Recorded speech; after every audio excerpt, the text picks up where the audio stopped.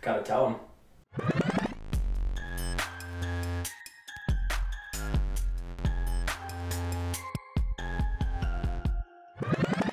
Okay, ladies and gentlemen, I finally decided to just buckle up and do it. You've been asking me all the time. Anybody who knows anything about me knows that I can get real estate agents to the first page of Google in 30 days or less. And I always allude to how I do it, show little snippets, but I've never shown the whole thing.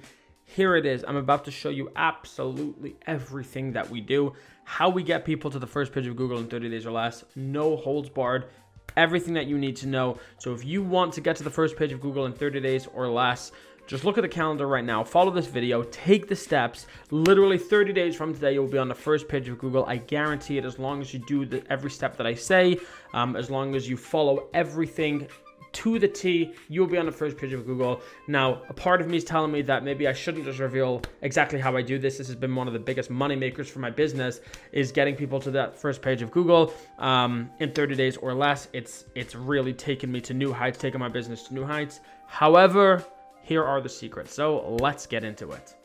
So getting to the first page of Google is going to generate more exposure, get more listings, therefore, uh, and it's also going to allow you to start receiving inbound leads on autopilot. So what we're going for is to get onto the first page of Google. Yes, what that will do for you is everything that I just said about the exposure, the listings, and the inbound leads, and this will happen in 30 days or less. That is not a typo. That is not an overpromise. In fact, it's an underpromise because we've seen this happen in literally a weekend.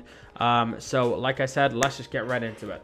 So what we're going to talk about today is number one, why reviews equals listings and why we're taking advantage of reviews to get to the first page of Google.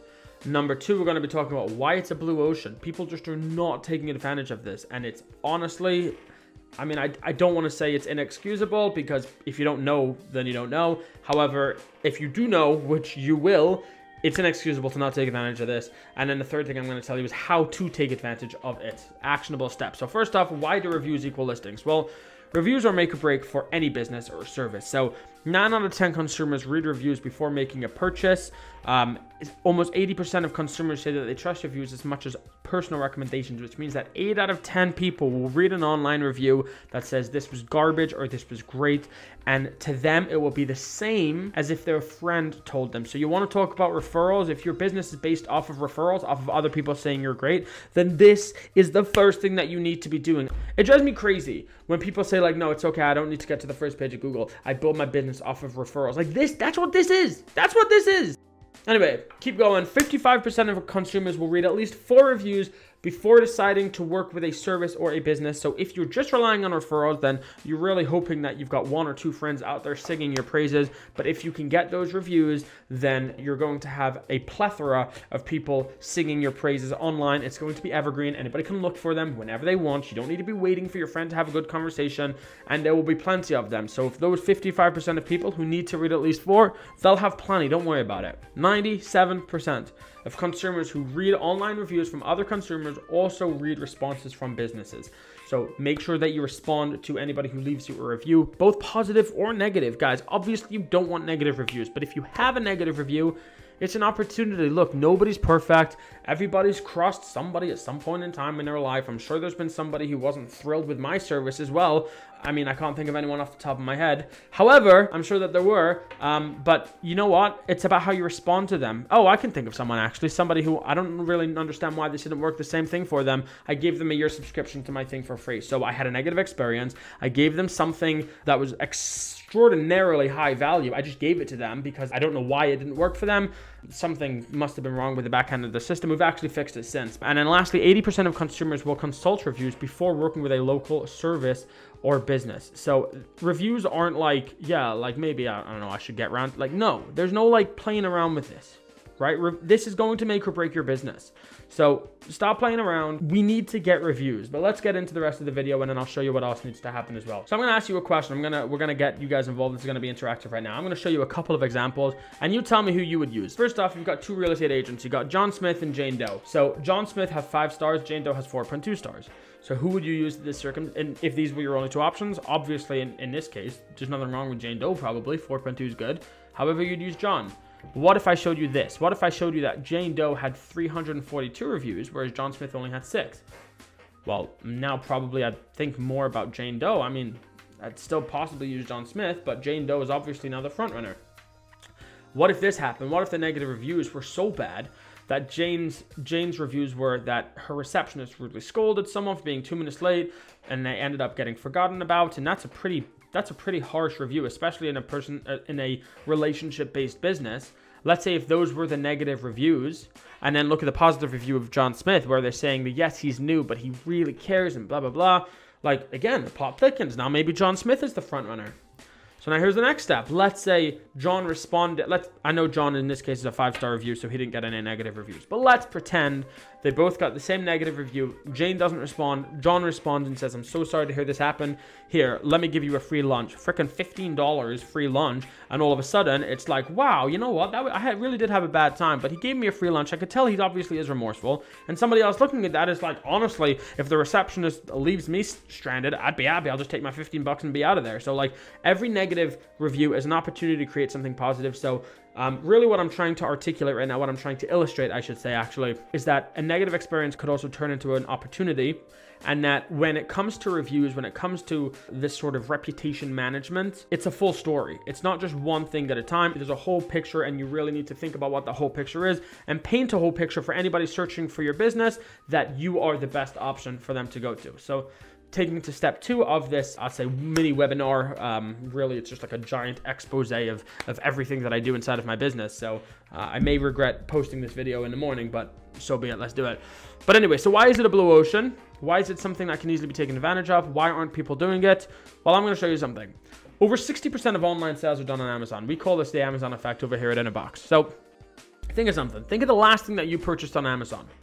Let's pretend I'll give you a minute. Let's pretend it was a phone charger. So why did I, let's pretend I bought a phone charger. Why did I pick that phone charger? So likely what I did is I typed into Google phone chargers. I found one that was not $55 for, I don't know, whatever. I didn't necessarily need some 25 foot long phone charger. I got one that fit the description of what I was looking for, had good reviews, and that was it. Price was right, reviews were good. So it turns out that 80% of people's purchasing decisions are based mostly, if not entirely, that on the product that has the most best reviews. Now, again, price obviously is a massive factor in people's purchasing decisions. However, let's pretend the price of every product was the same right? Because you're not posting what your commission rates are on your website. So really, they only know your commission once they call you. For all intents and purposes, at this point of the journey, every single product is the same in terms of price. So the difference is quality of the product and how do they verify that? By the reviews, that's it. So 80% of people, their purchasing decision is based mostly, if not entirely, on the real estate agent that has the most best reviews. So I'm not interested in searching for 15 freaking pages of phone chargers. I'm going to search the second, third one, whatever it is. I want that one that has 15,000 five-star reviews and it's $7. That's what I want right? So the question is, are you the best option according to Google and what is the best option? So by the way, just going back to, let's say the phone charger example, let's say if there's another phone charger that's trying to compete with the big phone charger companies, whatever it is, if they're like trying to create some sort of extra like cool wiring thing, like, yeah, that's fine. Like by all means, make your product better 100%. However, you got to get out there as well. Like you just create some different wiring. Like that's not going to change your business. You got to get some reviews, get in front of people, have people purchasing your product, and then improve it, right? Anyway, so let's get into this. I'm going to show you something. If you, you can verify this yourself if you want, as pause the video if you want, but I already did the work for you. I went to Google and I typed in realtors in a certain zip code or a certain area. So I went realtors in. So let's do this one. Sell my home fast in Jacksonville, right? So that's the keyword. Sell my home fast in Jacksonville. The entire city of Jacksonville, for somebody looking to sell their home fast, this is their options. I blanked everything out for uh, confidentiality. However, uh, as far as I remember, that 120 star review, that wasn't even uh, for a sell my home fast company. Like I know there are some real estate agents that specialize in just, I guess, all cash offers, quick sales, but you've got like one, two, three options on there that have zero reviews. Guys, this is the first page of Google. These are the first seven results. And of those first seven results, one of them has two stars and three of them have zero reviews. One of them has 120, which even though they don't actually specialize in this, they're just so crushing it with their reviews that they're up there. This one's 29, like, okay, fine. This one's 31, like, okay, fine. But the first page on a whole city, on a metropolitan city in the US, and you've got, like, four of them have basically a non-existent online reputation. Are you kidding me? How the heck are they on the first page of Google? This is the blue ocean, guys. Nobody's taking advantage of this. You go to Amazon right now. Seriously, go to Amazon and type in a product that everybody, because everybody wants a realtor. So type in a product that everybody wants, like a phone charger, like a phone case, I don't know, something, and see how many reviews they have. They'll have 15,000, 20,000 reviews because people who sell on Amazon understand. You cannot succeed in that game unless you have reviews. In this game, we don't get that yet. We don't understand that, and that's why you got people there with zero reviews on the first page of Google. Let's go to Realtors in Fresno. This guy's a client of mine, which is why I showed you. In about a weekend or a week, or it was less than a week. Anyway, the guy's in over 90 reviews. The guy started at two reviews. Like I said, in a couple of days, he went to over 90 reviews, got listings out of this, an abundance of phone calls out of this, and people are now coming to him. That's not to say that he's the end of his marketing endeavors. However, he has now a new income stream. Google is now bringing in business that he didn't have before. Right? And now it happens to be this guy was in business for a little while, so I wanted to get a little bit more competitive. But we competed. He's on the fourth spot on in Fresno. I mean, he's third in terms of total reviews in Fresno, which is awesome. So if you're looking for a real estate agent in Fresno and you type in realtors in Fresno, like it's him or the, the top two. Like that's it. Right, let's go here. Realtors and Simcoe. This uh, Alicia Flynn, first off, she's awesome. She's an awesome agent. She's fairly new. And as I'm sure you probably know or can even relate to, it's like, yeah, I'm willing to look after my clients 100%, but people don't know that. And if they don't know that, it doesn't really matter, like, whatever you're doing. If you got to be able to live, right? You got to be able to keep going. So you need to be in front of people so that you can do good business, so that they can refer you. But if you're not getting that business in the first place, then what are we playing around about talking about customer service? You have no customers. So this lady, she had a few, and then she leveraged them, and then she leveraged her friends and family, and then she got listings out of it, and then buyers out of it, and then it's starting to snowball, and that's what happened. Again, not the most competitive area, but in no time at all, she was on the first page of Google. She actually got a listing in under two weeks from this. Let's go. Coming real estate agent, Lisa Waters, another client of mine. Really awesome, awesome lady, awesome real estate agent. But again, if people don't know her, they don't know her. But now she's the first for coming realtor. Again, at the time of this recording, there's going to need to be optimization happening as well to keep her there, which I mean, hopefully this continues to happen.